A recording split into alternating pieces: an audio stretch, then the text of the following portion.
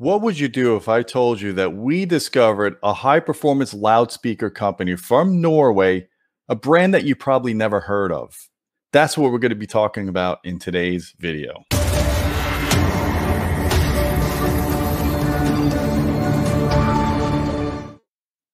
Hey folks, I'm Gene DellaSala with Audioholics, and we have some exciting news. We have a really awesome discovery we want to bring to you we, as you guys know, we do a lot of loudspeaker reviews. James Larson's our primary loudspeaker reviewer on Audioholics. And when he gets excited about a speaker, then I get excited. I want to talk to you about it. You probably never heard of this brand. They're called Arendal Sound. They're from Norway. This is a brand you should be taking a closer look at. So, what I want to do is I want to go over the review that James wrote on the editorial site. I want to actually go over this with you, inspire you guys to read it because it's well worth your time. So I'm going to share the screen and we're going to talk about what makes these speakers so impressive. And here we are. All right. So on the editorial side, on the homepage in our featured area, you could pop up this review. It's called Arendal Sound 1723 Monitor THX Loudspeaker Review, posted July 5th by James Larson. As you can see, he gave it a five out of five for performance and a five out of five for value. That's rare. We don't often give speakers that high mark or any products for that matter. So the pros that he found is wide dynamic range, and with that THX certification, that's a really great pro right there because these speakers are a larger bookshelf speaker and they have a lot of dynamic range because they're THX certified. They hit that reference 105 dB at 12 feet in a 3,000 cubic foot room. So that's impressive because if you scale that back to a meter, that's about 117 dB peaks. Very loud, very impressive for a speaker of this footprint at this price. Now, when James was initially got these speakers in for review, when he looked at just the build quality alone, the, the craftsmanship, he assumed they were $2,500 each. That's not the case. These are actually 2,500 bucks for the pair, and that includes shipping and they're even $100 less if you get them in satin black or satin white as opposed to the gloss black or gloss white. So this is extremely high value for what you're going to get, and I want to talk to you about that more closely. So as we said, wide dynamic range, they're very neutral, accurate sound, and you'll see that in the measurements. Nicely controlled directivity, we'll talk about what that means. Unexpectedly good build quality for the cost. High quality gloss finish, as I said, uh, I showed you the picture before. And most speakers only give you a three or maybe a five year warranty. Most companies, these guys, Arendal Sound, give you a 10 year warranty. That speaks volumes for their craftsmanship and, and their uh, confidence in their product. That's awesome. The only con he put in this review is the fact that they're a, quite a large bookshelf speaker. They're kind of they're kind of heavy for putting on stands, so you got to make sure you have good stands they're pretty big. They're you know they're 25 inches tall, almost 11 inches wide, and almost 16 inches deep. They weigh almost 60 pounds, 58 and a half pounds. That's impressive. And these are power. These these speakers can handle lots of power because they are THX rated. They're built really rugged. They can handle 400 watt amplifiers easily, 4 ohm rated, high sensitivity, 89 dB. So let's get into this in the frequency response, of course. In the sealed mode, if you want to operate this as a THX speaker, the 3 dB point is 58 hertz with about a 24 dB per octave slope below that uh, when you use the high pass of your of your processor. And then um, if you run them as ported, or if you want to run them in two range, two channel full range, they have usable bass minus 3 dB point of 34 hertz. That's unheard of usually for bookshelf speakers. That's impressive bass response for a tower. So let's get into it. So you can see they're packed really well. James likes to kind of show that when he takes things apart here. And that's great because it's an international company. You want to make sure these things don't arrive damaged. Cool thing is they have magnetic metal grills and these use very strong neodymium magnets. So it was a challenge to even get these grills off the front of the speaker. And you'd be surprised. I've seen $16,000 speakers with flimsy plastic grills that wobble when you take them off. And the neodymium magnets, they use the weakest neodymium magnets. The speaker grill slides right off with very little effort. That's not the case here. These are very rigid. They're very thin. They don't cause any major diffraction issues. And they stay on the speaker more importantly. So you don't want anybody touching your speakers, you put those grills on. And you can see another picture here. These just look really beautiful. Um, I love the gloss finish on them. It's really high class. The waveguide here is you would think it would be plastic, but it's not. It's actually aluminum. So it's really just nicely built, nicely crafted speaker. And you know, this waveguide has a real purpose to it. It actually controls the directivity of the speaker, it controls the dispersion. Um, it it actually helps match better with the woofers, and it, and it controls the uh, lateral dispersion as well. The advantage of doing something like this is when you have um, controlled directivity, you could do what's called trade time intensity trading. And what that allows you to do is if you toe the speakers in, James Larson recommends about a 15 degree toe in, it allows you to widen the sweet spot. See, if you get a speaker that just has wide dispersion at high frequencies, as you get to a sidewall or closer to a right speaker or closer to a left speaker, you tend to hear that speaker more because the reflections are more dominant. With time intensity trading, when you have a speaker that has controlled directivity, it actually gets quieter off axis. So when you toe them in, you can move to the left or move to the right, and you could preserve that stereo image or that phantom center for a wider sweet spot. So you're not just sitting at one seat to get that good imaging quality. You have a wider area with a speaker like this. So that's a really cool feature of these speakers, part of the design. Um, they use good quality crossovers. You can see the capacitors here. They have 250 volt parts. So you know these things can handle a lot of power. They have polypro cap uh, capacitors here, air core inductors, just cool stuff. And you can see inside here, um, there's a lot of uh, polyfill in here. The speaker wires are twisted pair. That's awesome for, you know, mutual uh, to eliminate crosstalk coupling. Um, if you notice, the inside of the cabinet is actually finished. So it doesn't just look like the HDF you see. You don't just see raw wood. They actually finished it. They took the time to finish it. I think that's a nice touch. They're built extremely well. The side panels are three and a quarter inch HDF and the front panels full one inch thick. You don't typically see one inch thick front uh, baffles on speakers, um, especially bookshelf speakers that don't cost a lot more than these. So that's impressive build quality right there. Um, there's the speaker's rear ported. Sorry about this pop up stuff. Uh, the speaker's rear ported. It has two inch seven, uh, two inch diameter ports that are seven inches deep.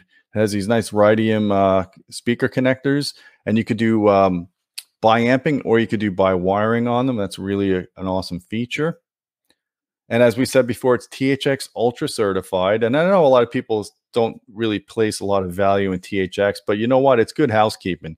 You know that this speaker is going to hit reference level in a 3,000 cubic foot room. It'll hit 105 dB peaks with low distortion at 12 feet. And as I said before, if you translate that number down to one meter, where you get most of the max ratings of speakers when come if a company even specifies that that's 117 dB. That's that's hella loud, especially for a speaker of this size. You and that's just for one speaker plane. So imagine when you have you know seven or ten or eleven, whatever. So these things are just they're rugged. They handle a lot of power. They're built well. They include shipping with the price, which is awesome. And um, I'm not going to read you all of James's uh, review here, but suffice it to say, he said the 1723 monitors produced a tower like range and authority. So, in other words, these speakers play like a tower. They have the bass extension of a tower, but they're not a tower. So, they're smaller. That's cool. Like to hear that. Um, he found that these are stand mount speakers that can sound like tower speakers. I think that's a really important thing to reiterate that. So, just because they're small or reasonably small for our bookshelf don't judge them by their size. These things are these things mean serious business. By having two eight-inch bass drivers, it increases the sensitivity of the speaker and it increases the efficiency and and it allows it to have more dynamic range. So I like the fact that it's an MTM because it controls the vertical dispersion and then it has the waveguide to control the lateral dispersion as well. So you you get the time intensity trading like we talked about, and you don't need a whole lot of treatments on your ceiling and floor when you have a speaker that actually does some of the control by having an MTM. I also like having an MTM because you have double the uh, surface area for your mid-range frequencies. A lot of companies they put a four-inch driver in and they call it a day, and they think they have a dynamic speaker. It's really hard to get a lot of dynamic range out of the mid-range when you only have a four-inch driver. These have two eights, big advantage there. So I want to go over some of the measurements with you briefly. And you guys could read this report. I encourage you to read this report. James puts a lot of effort into these reviews. And he basically goes outside, puts them on um, on a stand seven and a half feet tall, and he rotates the speaker and he measures it outdoors to get very accurate measurements. And you can see here how flat and even the response is, and how as you go, um, the early reflections here are just very linear to what the main on axis response is. And you can see here the total sound power and the first reflection directivity index. You want this to be flat. This is reasonably flat, very good. A little bit beaming at the very high frequencies, but not a big deal. And there's just more measurements here. He gets all geeked out, showing you in 3D just how flat and even this is and how uniform the response is. Good stuff. Good stuff. And you can see here when you go 15 degrees off axis versus 30 degrees off axis, the response is very similar. It's just a little lower down in volume, and that's good. The time intensity trading thing we were talking about. And I want to show you uh, the bass response here. Again, for a bookshelf speaker, if you run these ported, these things have usable bass. If you see, if you see the purple trace, 35 hertz, they're only about 5 dB down. That's pretty awesome. I mean, these things, you don't need a subwoofer for most music material with these, but if, of course, we always recommend subwoofers because we are audioholics. So if you want to run this as a THX monitor, here's the response that you get when you plug the ports. Excellent. Just, you know, textbook kind of stuff. And here's the interesting thing. This is a four ohm rated speaker. So usually, um, if a company is compliant with the IEC standard and they rate a speaker at eight ohms or they rate a speaker at four ohms, it has to maintain 80% of that nominal value. So in this case, for four ohms, it can't go below 3.2 ohms. This speaker doesn't go below five ohms. I mean, they really could have rated this a six ohm speaker if they wanted to be more conservative.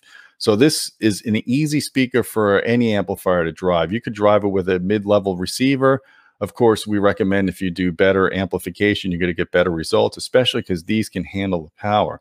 So I honestly, I would recommend, you know, a 200 watt per channel amplifier with these speakers. Maybe if you get a receiver and you get three of these speakers, get a three channel amp. Give these guys power; they deserve it. And you can see they're tuned right at around 30 hertz here from the saddle point. So yeah, it's just really good. I just I love these. I love this little logo here. It looks awesome. Speakers look great. They come in white or black. And the, his biggest complaint was because they're heavy at 60 pounds, it's hard to find a good stand. Uh, Arendal Sound actually makes a box stand. So you put the speaker on top of this and it looks like a tower. And they actually worked out a deal for Audioholics readers. If you buy their stands, they give you 50% off if you type Audioholics in the coupon code. So if you are considering that, I recommend it. The other option too is if if you spend a little bit more money, you could actually get the tower version of the speaker and not even have to worry about the stand. It'll have the same great performance, but with a couple of more bass drivers. So if you're doing a two-channel rig, I would definitely get the tower version of the speaker and be done with it. That's how good this is. As as James says, the Arendal Sound 1723 monitors offer superb sound quality. And he's not one to give such great compliments easily. And again, they look they just look gorgeous. I'm sorry, I'm sold on these speakers. The cool thing again is they have a, a 60 day home trial period. 10 year warranty. And I wanted to go over some notes with you in case I forgot anything. I just put together this little cheat sheet. So, again, these are the Arendal 1723 monitors. They have dual 8 inch uh, mid bass woofers, a 1.1 inch soft dome tweeter, or the waveguide. They're made out of HDF, HDF, high density fiber board. Most speakers are made with MDF. I mean, it's just a nice thing that they're using HDF. It doesn't necessarily mean it's better, but it is just it's good quality stuff. It maintains its shape better, and over time, it's more durable. A one-inch front thick baffle, three-quarter inch side panels, high-grade drivers, large metal backplates on the woofers, rhodium-plated binding posts, aluminum waveguide. It's not plastic, and it, you know that's a, just another thing about the the craftsmanship of the product high grade quality crossover components, heavy duty metal grill. It's not that cheap, flimsy crap that you get with a lot of speakers these days, with very powerful neodymium magnet adhesion. Painted interior that's packed with polyfill and is well lined with soft butyl damping layer. Very important to control inter internal cabinet uh, reflections and resonances. The sound quality, to sum it up, is excellent on and off axis response Crazy good extension from a stand mount speaker, usable bass down in the 30 hertz. Excellent dynamics, THX certified 105 dB per spec at 12 feet, 3,000 cubic foot room. I said again, 117 dB at one meter. That's loud. Dispersion behavior makes the 1723 is a great candidate for time intensity trading positioning. Again, that's to widen your sweet spot. So more people in the front of your room when they're sitting down, they get to have that phantom center and you get better imaging of the speakers. The 1723 monitors have very good directivity control and will be very predictably equalized for those who want to change the tonal balance of the sound. So that's an important point. So when you have a speaker that's well behaved like this, if you want to EQ it, you can actually get predictable results EQing it as opposed to a speaker that just has really bad off axis off axis response. You're not going to really know how beneficial the EQ is there. So that's great to know. High sensitivity. I don't know why James has to do this, but come on, 89.9, let's just call it 90 dB at 2.83 volts. I mean, come on, a tenth of a dB. These guys rate the, the sensitivity the correct way. They don't inflate it by doing an in-room measurement that some of the competitors do. This is a this is a very efficient speaker. As I said, it dips down only five ohms. So any any decent receiver, you go and spend seven, eight hundred dollars, a thousand dollars on a receiver, these speakers will work fine with it. Of course, we do recommend bigger amplification if you could afford it. The perfect application is a tower speaker sound when stand mounted speakers are needed and dedicated home theater loudspeakers. So they serve both purposes. They have a 60 day trial period, which is a very generous trial period. For if for some reason you don't like the speakers, you could ship them back. And they have a 10 year warranty, which again is pretty unheard of with, in terms of loudspeakers. And just to show you some perks of the site, let's see if I can um, open this hyperlink. They have a knitting club. I guess it's for uh, former Arendal employees. I think Jan, the owner, um, his mother, I think, was doing some knitting for them. So that's really cool it's just a, it's a family run company. I love that. Um, they have a lot, of, you know, they have a heritage. I wanted to show you um, some of their other speakers here as well. So as I was saying before, if you're going to get the stands, you might also want to consider just getting the towers. So they have two more eight inch drivers. These look gorgeous. A little bit more money, but man, these things will slam and then you could use the the uh, the speaker we reviewed the 1723 as the center channel and this actually has for an mtm it actually has pretty good dispersion horizontally as long as you're sitting within plus or minus 20 degrees off of on axis you'll have good coverage for all your seats yeah so that's that's what I wanted to show you guys. And I just love, um, I love these towers when they have these outriggers and they're kind of angled a little bit forward. It just looks cool. They also have subwoofers and we are going to be looking at some more of those products as well. So let me come back to Earth here. So there you have it, guys. I'm really impressed with this company. We're going to be doing a lot more coverage of them. You're going to be seeing, um, I guess, next will be a subwoofer review, and then maybe we'll check out some towers in the near future. I want to hear from you guys. Are there any Arendal Sound owners? Please give us some comments down below. Let us know what you think about these speakers or if you're considering buying them. I'll put some links down below if you guys want to go and buy them off of the website. You're welcome to do that. Don't forget about our Patreon channel at patreon.com slash audioholics. You get unique content there. You get access to us if you want to ask questions or suggest video topics. And of course, you help us to keep the content coming here. Don't forget to hit that subscribe button, hit that bell notification so you know when the next video drops. And until next time, my friends, keep listening.